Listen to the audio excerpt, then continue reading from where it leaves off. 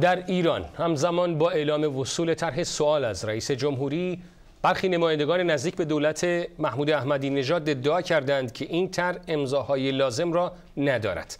بر اساس قانون احضار رئیس جمهوری تنها در صورت امضای حداقل یک چهارم نمایندگان مجلس قانونی است. هیئت رئیسه مجلس امروز اسامی 76 نماینده امضا کننده را منتشر کرده.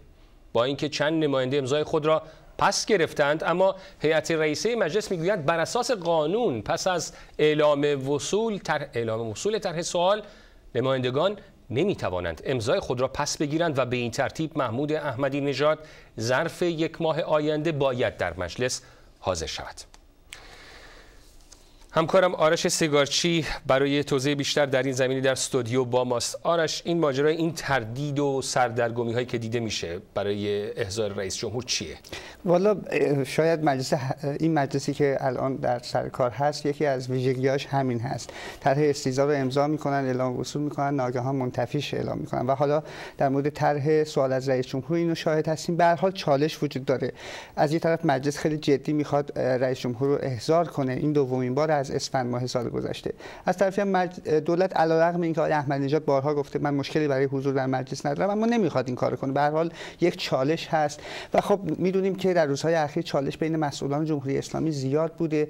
آقای احمدی نژاد می‌خواسته بره اوین رو ببینه. آقای لاریجانی صادق نذاشته و بعد دعوا به آقای خامنه ای کشیده شده و آقای خامنه ای اظهار نظر خیلی تند کرده. گفته تا انتخابات هر گونه اختلاف برافکنی در واقع خیانت هست. اما می‌بینیم به رغم این هشدار آیت الله خامنه ای باز هم چالش ادامه داره و این دعوا کش پیدا کرده به قول معروف.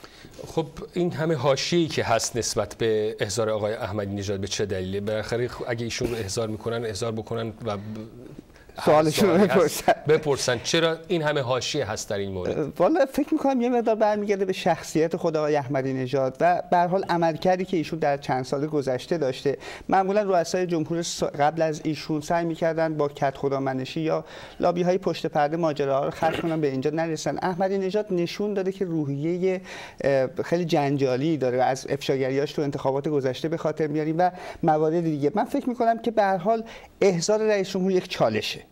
این رو کسی شک نداره و می‌دونیم که از ابتدای انقلاب تا امروزی که با هم داریم صحبت می‌کنیم این دومین باری که رئیس جمهور و هر دوبار در دوره آقای احمدی نژاد به مجلس احضار شده. در کنار اینها توجه کنیم که نمایندگان مجلس این بار هشدار دادن با آقای احمدی نژاد و گفتن که آقای احمدی نژاد ما اگر جوابات مثل دفعه قبل باشه بیای شوخی کنیم ما می‌تونیم عزلت کنیم.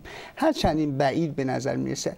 اما از یه طرف هم یه سری از نمایندگان میترسن و می‌دونید که می‌دونیم که آقای احمدی نژاد این رویه رو داره که افشاگری کنه. یه سری پرونده ها زیر دستش هست و تا به حال هم نشون داده که در کنفرانس مطبوعاتی مهرماش نشون داد که روحیه افشاگری رو داره و امکان داره برخی از این نمایندگان علیهشون حرفی زده بشه و خب حراس دارن به خاطر همین.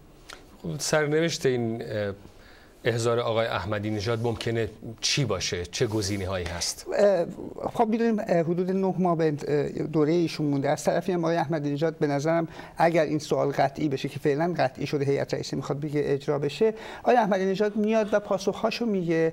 من احساس می‌کنم مثل دفعه قبل باز هم شوخی و حالا اگر یه ذره چاشنی افشاگری باش همراه کرد. اما به نظر من مجلس کاری نمی‌تونه بکنه. هرچند فکر می‌کنم که شاید طرح عدم کفایت رو هم مطرح کنه. اما به هر حال آقای خامنه ای بارها غیر علنی گفته و نشون داده که می‌خواد این دولت تا آخرش سر کار باشه و به این ترتیب دوره ایشون تموم میشه تا انتخابات آینده ریاست جمهوری. سپاسگزارم آرش سیگارچی از توضیحاتی که دادی؟